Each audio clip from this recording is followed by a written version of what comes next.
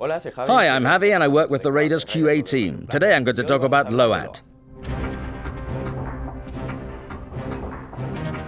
Loaht served under General Marmalade, along with Alicia. During that time, Marmalade experimented with Loaht, injecting him with Aleph plasma, awakening something bestial within him. The more Aleph that was injected, the faster his rage grew, unleashing a power all the broken planet would soon learn to fear.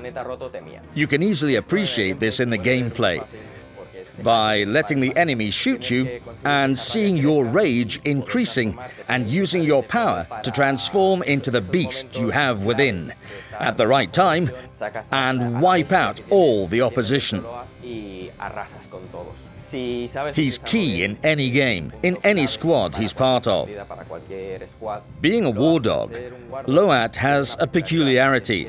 His stress levels are always peaking and thus his silhouette can be seen through objects.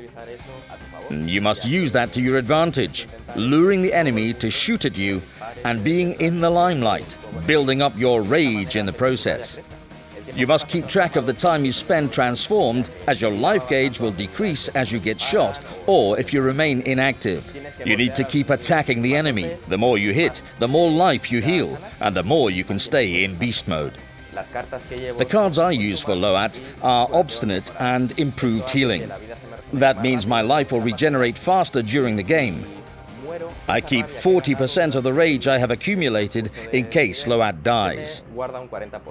I use Loaht's default weapon, that, combined with the cards I mentioned before, allows me to go head-on against the enemies without having to worry too much about my health, nor losing all the rage I have accumulated during the game. It's real fun to transform into a beast and see your enemies trying to run away as you tear through them. If you are facing an antagonist, you can be sure he or she will fear going after you.